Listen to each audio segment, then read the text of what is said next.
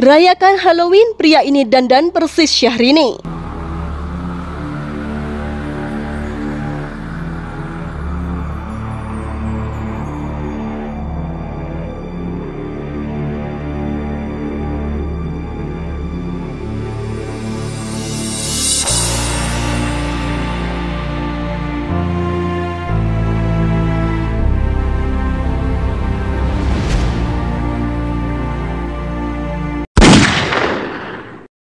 Dapur berita artis terkini.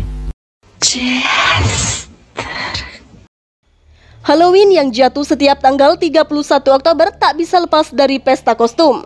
Tak jarang orang-orang di sekitar kita memanfaatkan pesta kostum saat Halloween sebagai ajang untuk menjadi sosok-sosok idola, termasuk yang dilakukan oleh Kevin Wiarnanda. Kevin, musisi yang dikenal dengan moniker Vivi YND tak pernah melewatkan pesta kostum Halloween dalam beberapa tahun terakhir. Menariknya, Kevin selalu mengangkat sosok-sosok ikonik dan berdandan maksimal hingga sangat mirip dengan sosok yang ia maksud. Hal ini dilakukan oleh Kevin untuk menghormati para tokoh di, di industri hiburan. Jika pada Halloween sebelumnya Kevin menjadi Christina Aguilera, pada tahun ini pria berasal Jakarta itu menjadi Syahrini. Ini udah kali ketiga gue pay tribute memberi penghormatan kepada perempuan luar biasa di luar sana. Pertama tahun 2018 waktu gue jadi Christina Aguilera, tahun 2019 jadi ikon internet Sandy Eka Aryadi dan tahun ini menjadi Syahrini, kata Kevin saat dihubungi oleh Medcom ID. Bukan tanpa alasan Kevin memilih jadi Syahrini pada tahun ini. Kevin menganggap Syahrini sebagai selebritas yang ikonik lewat penampilan dan gaya busananya. Syahrini juga dianggap sebagai sosok yang menginspirasi karena memiliki keberanian dan rasa percaya diri. Tribut ini gue persembahkan untuk Syahrini yang merupakan seorang ikon kultur pop Indonesia yang selalu berani dan penuh percaya diri. Look dan jambul katulistiwa ini selalu jadi salah satu look red carpet paling memorable di sejarah red carpet Indonesia, jelas Kevin. Kevin tidak main-main dalam berdandan jadi Syahrini. Dirinya sampai memesan berbagai aksesoris di toko daring agar benar-benar mirip sampai ke detail aksesoris sang princess. Salah satu tantangannya adalah nunggu barang-barang dari e-commerce datang. Karena gue baru kepikiran jadi Syahrini dua hari sebelumnya. Dan gue harus cari aksesoris yang mirip sama punya Syahrini Harus pintar-pintar modifikasi juga. Contohnya, kalung yang gue akalin pakai tali masker.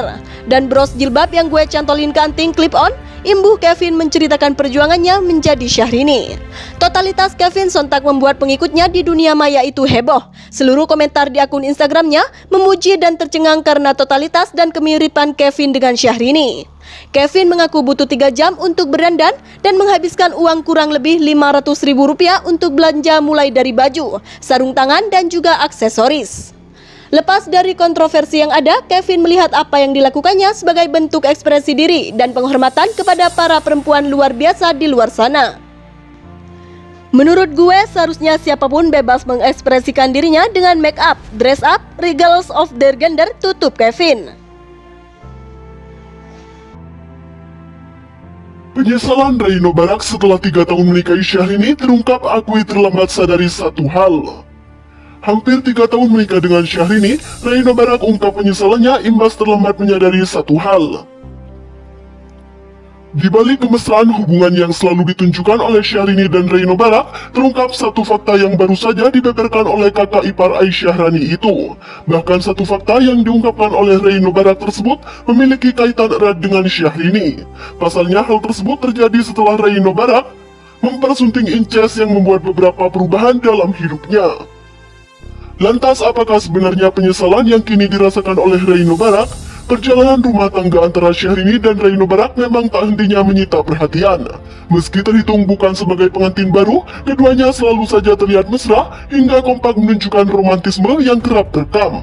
Namun siapa sangka, di balik indahnya rumah tangga yang selalu mereka tunjukkan, Reino Barak memiliki penyesalan setelah menikah dengan Syahrini. Hal tersebut diungkap oleh Reino Barak saat sedang melaksanakan siaran langsung bersama salah satu lembaga penyedia layanan beasiswa pada Selasa 26 Oktober 2021. Pernyataan Reino Barak itu lalu kembali dibagikan oleh akun fanbase at official SYRB di hari yang sama. Mulanya dalam video tersebut, sang pembawa acara menanyakan makanan Indonesia yang menjadi favorit Reino Barak. Sayangnya Reino yang memiliki darah Jepang itu mengaku bahwa sebenarnya dirinya baru mengenal betul makanan khas Indonesia. Justru setelah dirinya menikah dengan Syahrini. Wah banyak ya, banyak sekali sih. Saya sebetulnya lebih familiar dengan makanan Indonesia sejak saya nikah. Karena kan istri saya orang Sunda, jadi saya dikenalin makanan macam-macam, terang Reino Barak. Baru menyadari nikmatnya masakan Indonesia setelah menikah dengan Syahrini, Reino Barak pun mengakui penyesalannya.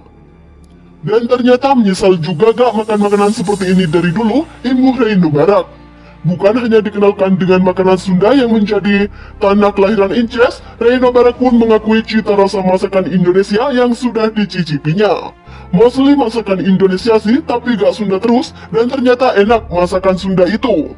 Atau karena memang istri yang masakin ya, jadi semua enak gitu, timpal sang pembawa acara. Itu sudah pasti jawab Reino Barak. Memasak? Mungkin jika kita membicarakan masalah memasak adalah kebutuhan dan hal yang harus diharuskan oleh seorang istri, seperti keutamaan Asia Sitri Fir'aun. Tapi benarkah demikian? Ibnu Taimiyah rahimahullah berkata, ada ulama yang menyatakan bahwa wajib bagi istri mengurus pekerjaan rumah yang ringan. Sebagian ulama menyatakan bahwa yang wajib adalah yang dianggap oleh urf kebiasaan masyarakat. Pendapat yang terakhir inilah yang lebih tepat, hendaklah wanita mengurus pekerjaan rumah sesuai dengan yang berlaku di masyarakatnya. Itulah yang ia tunaikan pada suami. Ini semua akan berbeda-beda tergantung kondisi. Pernah sakit hati karena Reino Barak direbut, kini Luna Maya malah tak ragu pasang badan. Saat tahu Syahrini dibully sudah baikan? Kandasnya hubungan Luna Maya dan Reino Barak beberapa waktu lalu memang sukses menyita perhatian publik, sebab siapa yang menyangka jika akhirnya hubungan mereka harus kandas. Karena ketika bersama, Luna dan Reino selalu nampak harmonis, bahkan hubungan mereka juga terbilang langgeng. Namun sayang akhirnya Reino lebih memilih untuk menikah dengan Syahrini. Bahkan karena hal tersebut, Luna disebut jadi takur dengan Syahrini. Walau begitu, ternyata Luna tak ragu loh untuk pasang badan saat Syahrini dibully. Luna Maya pasang badan bela Syahrini. Ternyata Luna Maya pernah membela mantan sahabatnya itu ketika dapat nyinyiran dari warganet. Pada 2019 silam, Luna Maya dan Raffi Ahmad saat itu sedang melakukan obrolan live di akun YouTube-nya. Pada Rabu 29 Mei 2019, Raffi Ahmad awalnya meminta kepada sahabatnya itu untuk melakukan kolaborasi make up dengan Nagita Slavina. Hal itu rupanya juga menjadi permintaan salah satu seorang netizen yang sempat dibacakan oleh Luna Maya. Tutorial make up dong sama Mbak Gigi, kata Luna Maya dilansir dari channel YouTube-nya.